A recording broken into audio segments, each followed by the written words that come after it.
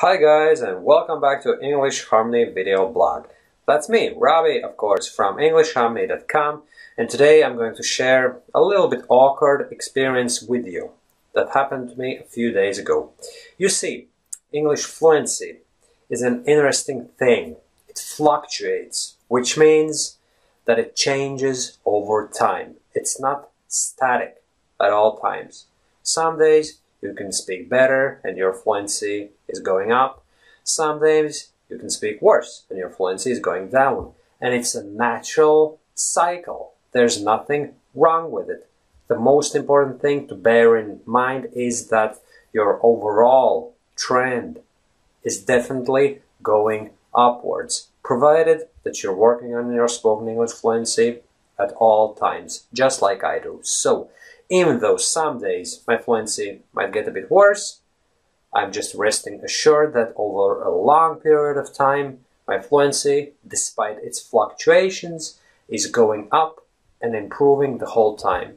And if I look back a few years ago, I can definitely see the improvement. All I have to do is just check back my earliest YouTube videos and I can definitely see that now I'm more eloquent, more fluent, and it provides me with that extra motivation that keeps me going hard, working hard on my fluency, and despite some little setbacks, I simply rest assured that my fluency is going to be back on track in a day's or a couple days time. It's natural. It's all part of the English harmony philosophy, whereby you don't have to freak out about such bad fluency days. You just accept it and you go through it by applying certain tricks and certain methods that I'm talking about on my blog. You can check out this article, English Fluency Management Techniques and Methods. If I'm not mistaken, that's what it's called. Anyway, the experience that I wanted to share with you was a few days ago, I was in a state of a little bit worse English fluency than normal, and I was in a shop, in a hardware shop, and we were buying uh, things for for our household, for the garden, if I'm not mistaken. And then when we had completed the purchase, I wanted to ask for the receipt, right? So I was asking the cashier the question, uh, can I get the check, please? And can you see how wrong was I in using the word check? It's the wrong word. In the English language, receipts are not called checks, they're receipts. And in this particular context, when I spoke to the cashier and asked for a check, it didn't make any sense to that English speaker. And why I did it? Because the old translation mode, whereby I translate from my native language into English, right? A little bit of that old habit kind of appeared, and instead of saying the word receipt, which is a normal English word. I said check, which is, again, another normal English word, but you see, in my language, we describe receipts as checks in Latvian. We say a check, and everyone knows that it's a receipt, but in English language, these words are used differently. But for some reason, I just said, Can I get a check, please? And uh, right after that, I corrected myself. I'm sorry, can I get the receipt, please? And it was all fine. And nowadays, I'm not even getting overly stressed out over such small mistakes. But I'm just sharing this experience with you so that you can see that even uh, quite fluent English speakers such as me, even I can make stupid mistakes like that. And it's totally okay to do that right? We're just human beings. We all make mistakes. And even though you may be watching my video and you may be thinking, wow, I wish one day I'd be able to speak in English as fluently as Robbie does.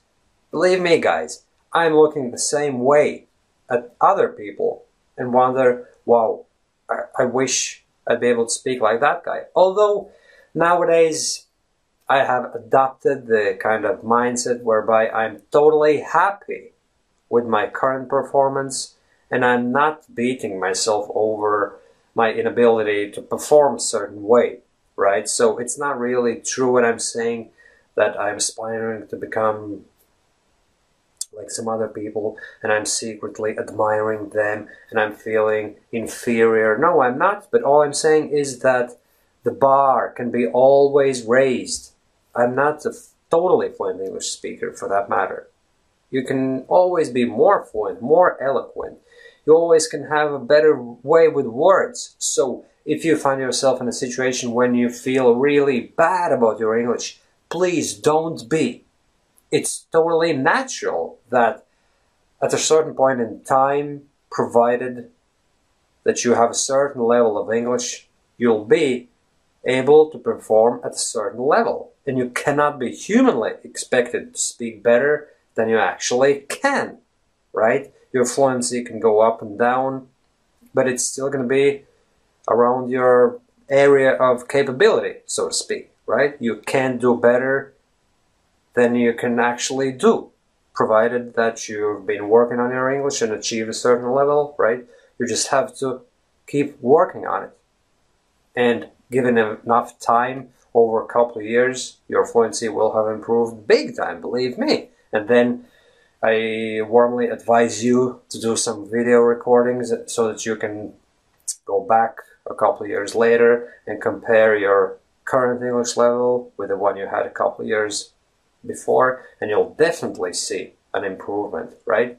So, the point of this video was to tell you guys that even I make mistakes and uh, especially for foreign English speakers such as me and you who are constantly working on rewiring our brain with spoken English patterns that are used in natural, real English speech due to the detrimental effect of the traditional English studies that we had to perform over a long period of time. And uh, we de developed so-called writing mode whereby we constructed sentences in our brain by way of translation and uh, creating sentences from scratch by sticking words together right? Because of all that we find it harder to achieve total English fluency as or than you see I made a simple mistake of using the word as instead of than, right? And it's totally fine by me, right? I'm not going to edit this one out because I want you to see that I'm totally honest with you guys. And I'm not hiding anything. And uh, making small mistakes is totally human and, and that's fine, right? So basically, we find it a bit harder than someone who would be learning English totally naturally from right from the beginning, right? if someone has been uh, working only on their spoken language and developed the English language as means of communication predominantly, then they wouldn't have these issues. But just because we have these issues, right, we we will probably constantly, always struggle just that little bit with this translation mode, the writing mode syndrome, and things like that. But it's fine. You have to accept who you are and I totally accept who I am. Whenever I make some mistake at work and, and struggle a little bit with conversations, I don't beat myself over that anymore. I just know who I am. I'm Robbie. I'm a fluent English speaker, but because of the traditional way of the learning the English language, which was how I acquired the language in the first place, right? Because of that, it has left an imprint on my ability to speak with others probably for the rest of my life. But I'm constantly working on my English, and I warmly suggest you do too. And over time, those mistakes, those moments of awkwardness and embarrassment will become fewer and fewer. I promise you that, my friends. So, can you please bring me the check? You see, this phrase, in this instance, is the proper phrase because when you're sitting in a restaurant, you've finished your meal, and you're asking for the waiter to bring you the check, that's when the word check is appropriate, right? Because that's a check. So remember, English is to be acquired contextually. Don't learn the word check and then don't try to apply that word on many situations, but use, just learn new word combinations, new vocabulary based on situations. So imagine yourself in a restaurant speaking to a waiter and tell them, please bring me the check, and then it, on a completely different spoken English practice session where you imagine yourself being a, a customer in a shop, use the phrase, Can I have the receipt, please? Because those are totally different situations as far as using the words check and receipt is concerned, right? Okay, I'll stop the rant, my friends. And if you have any questions whatsoever in relation to this matter, please post them in the comment section below. If you're watching this video on YouTube or on my blog, or if you're listening to the podcast, please head over to my website where you can publish your questions on any blog post that I've uh, created there, or you can just submit your query on the contact me page, right? So thanks for watching, thanks for listening, my friends, and talk to you soon again. Bye bye.